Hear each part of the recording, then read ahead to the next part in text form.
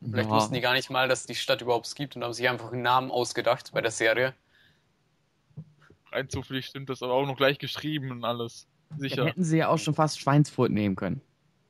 Ah, oh, Schweinsfurt. Wie kommt man, wie kommt man, welcher Mensch ist auf solche Namen gekommen? Es gibt ja auch ja, ich weiß, Vögel sind und Co., ich weiß. Poppen, Pissen, Rom, Amerika, England, Russland, äh, Welt. Nein, Pforzheim ist auch noch so eine schöne Stadt. Pforzheim? Ja, Pforzheim. Ach so. Ja, und bei, bei mir in der Nähe gibt's ein Essen und in der Nähe, ein bisschen weiter weg ist, gibt's auch noch Essen. Ja. Bei dir auch in der Küche gibt's auch Essen. Ja, aber nee, wo ich Richtung Hamburg gefahren bin, da gab es auch irgendwo in Niedersachsen, irgendwo gab es auch noch ein Dorf oder Stadt oder was auch immer namens Essen. Ganz komisch. Es gibt irgendwo Wissen, das weiß ich. Ja, Wissen, Schrägstrich, Sieg, ich weiß, Gameplayer. Richtig. Ich weiß schon sofort Bescheid. Aber woher weiß man das? Bei solch einem kleinen. Ein zufällig. Rein Weil ich mit dem ein bisschen gelabert habe, da wollte irgendwas mit, mit, mit Spiele da entwickeln, bla bla bla, habe ich gefragt und hat er irgendwie gefragt, ich brauche welche um nähe Umgebung, habe ich, hab ich so einen Namen vorgestellt und gesagt, das ist mein Bruder oder irgendwie sowas. Kam dann raus.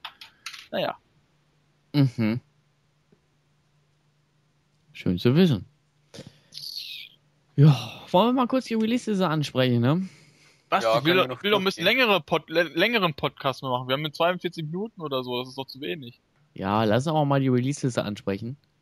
Gut, dann suche ich mir noch ein bisschen was raus. Da kommt was richtig Geiles raus, nämlich Age of Empires Online. De, de, de, de. Endlich mal was Interessantes. Was ich zocken werde zu 100%, was ein Free-to-Play-Spiel ist, was ich schon, muss wohl nichts mehr zu erzählen. Ich kenne das schon. Bla. Gut. Bastion auch noch. Okay, alles, alles danach ist uninteressant. Du hast Age of Empire Online genannt, bekannteres gibt's bestimmt nicht mehr. Dann Was das für ein Name? Was? Ich war. Okay. Egal. Gut. Am Freitag haben wir dann noch Haunted. Oh, das kenne ich vom Namen her, aber ansonsten weiß ich auch nichts drüber. Gibt's auch eine Demo? Auf Steam? Oder? Auf Steam? Nee. Irgendwo habe ich Bei den Namen. Auf der Seite? Bei uns auf der Seite, genau. Ja. Ich habe doch jetzt den Namen irgendwo gesehen, genau. Und dann haben wir noch ähm, auf der Nintendo Wii am Freitag ähm, Xenoblade Chronicles. Ein Japano-MMO, glaube ich. Mhm. Also aber sonst auch nichts drüber. Ja. Also wieder recht wenig. Nächste Woche wird es wahrscheinlich ein bisschen turbulenter, denn dann ist die Gamescom vorbei. Und dann kriegen wir nur noch Spiele raus. Hm. Hoffentlich. Genau. Hast du Release-Liste fertig? Ja. Gut, okay, mehr ähm, gab's nicht. ja, das ist so Was wenig. ich gerade gefunden habe, folgendes. Die Top 10 der verkauften Spiele in der Kalenderwoche 31 ähm, in Deutschland äh, Konsolencharts. Okay. So, ich lese mal Sehr vor. Gut von Platz 10 nach 1. Platz Gerne. 10. Zumba Fitness Nintendo Wii. Wow. War klar. War ich auch klar. So. Platz 9. The Legend of Zelda Ocarina of Time 3D für 3DS. Verständlich. Jo. Platz 8. New Super Mario Bros. für die Wii. Das verwundert mich ein bisschen. Ist schon Platz älter. Sie Platz 7 ist übrigens dasselbe Spiel nur für den DS. Okay. Okay. Auch wenn so, schon älter Platz... sind anscheinend. Übrigens, wohlgemerkt, das sind die insgesamten Konsolenschatz, ne? aber ich jetzt mal weiter. Platz 6 Wii Party für Nintendo Wii. Uh. Platz 5 Mario Kart Wii für die Wii. Okay, das wundert mich. Also nur Wii-Spiele oder wie? Ihr passt weiter bei stopp, stopp, stopp. So, viertens Cars 2 für die Wii. Platz 3 Pokémon Weiß Edition DS. Dann kommt jetzt auch gleich die schwarze Edition. Richtig. Und Platz 1 geht an Cars 2 für den DS. Wow. Was aufgefallen. Deutschland steht in der News schon drin. Deutschland gleich Nintendo-Land. Alle Top 10 gehen an Nintendo-Konsolen. Das, das, ist, ist komplett, geil. das ist unsere deutsche Top 10. Alle Top 10 werden von Nintendo dominiert. Das ist doch geil. Das ist die komplette Konsole, auch mit PS3 und 360 alles inbegriffen, aber das ist alles von Nintendo jetzt gewesen. Schon heftig. Ja. Ich find's schön. Top, Top 10, hier steht auch Top 10 sind komplett in Nintendo-Hand. Kein einziger Titel für PS3 oder 360 hat sich im Verkaufsschatz von Kalenderwoche 31 verirrt. Bloß wann, so. sind, bloß wann sind sie, wenn man jetzt die Top 10 mal ein bisschen länger macht? Wo kommen dann so Ende für mal die Spiele? Das ist ja die Frage. Und bitte nicht verwechseln, das war nicht die, allein die Nintendo-Liste, sondern insgesamt Verkaufsschatz, ne, von den Spielen. Mhm. Der Konsolen. Zumindest. Ja. Ohne PC stand zumindest nichts drauf, aber für alle Konsolen, weißt du, und dann halt nur Nintendo-Sachen. ja, der Benny freut sich dahin. Also ich finde das schon irgendwie schon schön, dass in den Top 10 nur Nintendo ist, das ist geil.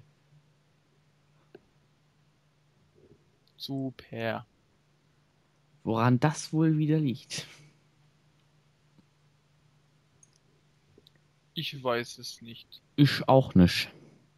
Liegt doch daran, dass jetzt nicht so viele tolle Titel rauskamen. Äh. Wir können ja, ja noch hab, mal. Was, was kam denn überhaupt raus in letzter Zeit? Irgendwie habe ich nichts mitbekommen. Also let Gar nichts.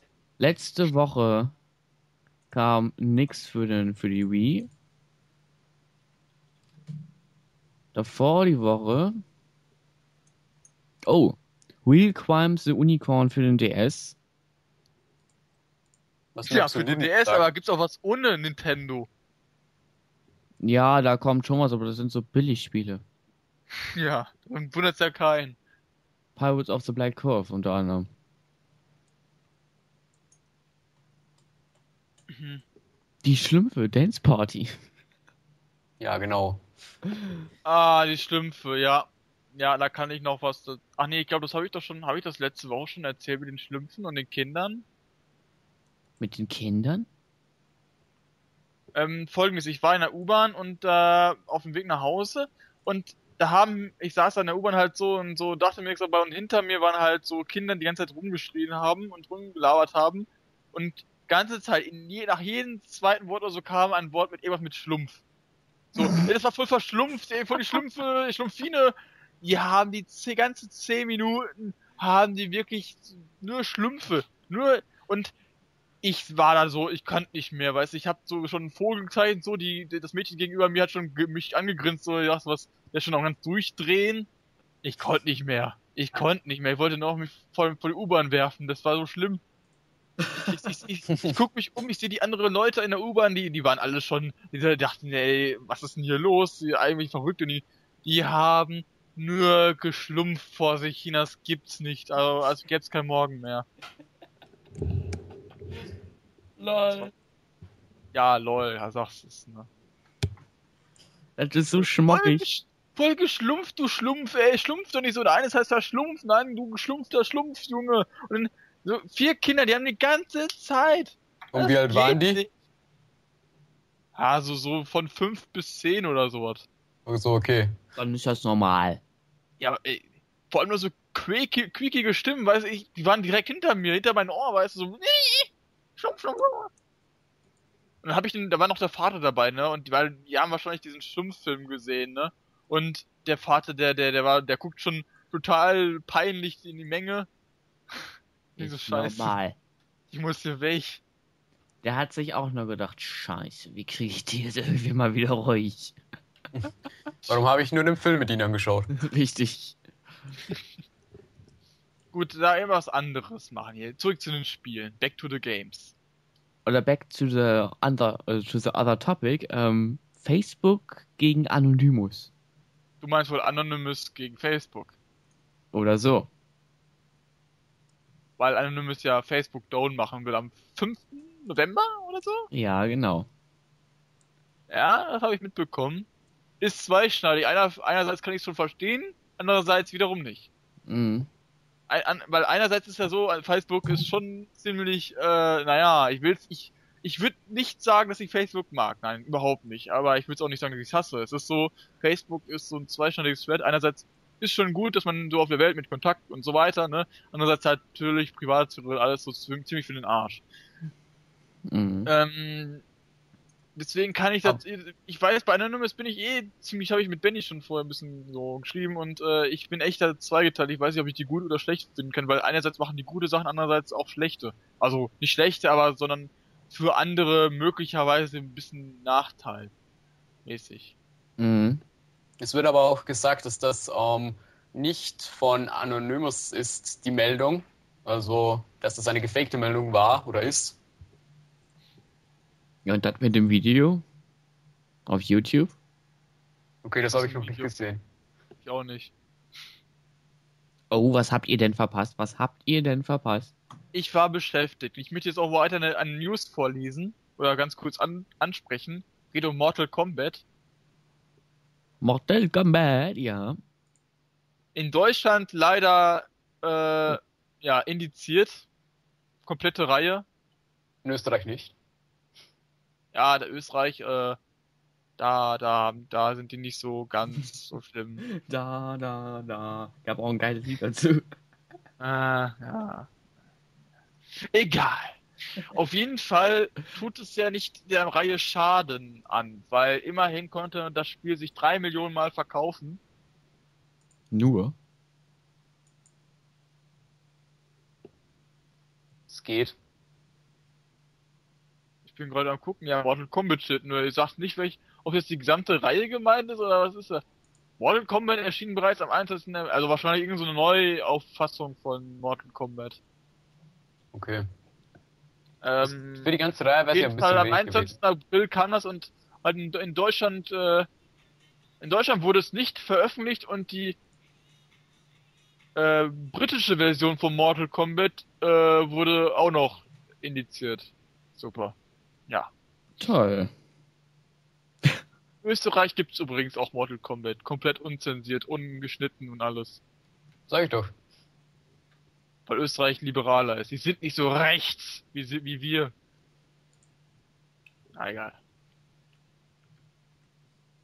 Ja. So, mhm. Gibt sonst noch News oder Themen, die wir anschneiden können? Marco? Was? Wieso ich? Ich habe meine Themen schon durch. Ja, was habt ihr noch diese Woche erlebt? Sag doch mal irgendwas. David, du warst im Urlaub. Sag mal, was du da so erlebt hast. Ähm, auch wenn es eigentlich gar nichts mit Games zu tun hat, ja, wir waren halt in ist egal, England. wir reden über alles Mögliche. Okay, ja, wir waren in England und da gab es ja Krawalle, aber über die habe ich ehrlich gesagt, als ich dort war, gar nichts mitbekommen. Ähm, ja, weil die eher nur in den größeren Städten waren. Falls wir darüber reden möchten. Nee, nee, einfach so, was du erlebt hast ja, was soll ich sagen? England, nettes Land, die Leute sind nett, Essen ist auch eigentlich nicht so schlecht, wie man denken mag. Und das Wetter war eigentlich auch bis auf ein, zwei Mal ziemlich schön. Was hast Wobei du so gemacht? Hast du irgendwas unternommen? Hast du irgendwas gemacht da Besonderes? Ja, hauptsächlich so Sightseeing. Was hast du denn so dir angesehen alles? Ja, verschiedene Schlösser oder Stonehenge haben wir auch gesehen. Na, ist doch was. Ist da immerhin interessant. Ja. Mhm. Schlösser. Mhm. da geht die Begeisterung von mir runter. Ach du nein. Sind doch alle gleich gebaut, sind aus Stein und hoch. Hm, wir müssen nicht ja. nur aus Stein, wir können auch aus Marmor sein oder aus Holz. Ja, hat aber die gleiche Aufgabe. Super. Ja. Ja, okay, ich weiß nicht, ob noch die Leute jetzt meinen Reisebericht so interessiert. Hast, hast, du noch was gemacht da irgendwie außer Sightseeing? Eigentlich nicht so, nee. Super. Interessant. Nicht. Ja, ja. Ja. Urlaub kann äh, auch langweilig sein. Auch vielleicht England war ich noch nie, vielleicht äh, ist es ja andere Welt, so ganz andere Sitten und alles. In England sollen ja Legenden geboren sein, wie man ja so sagt.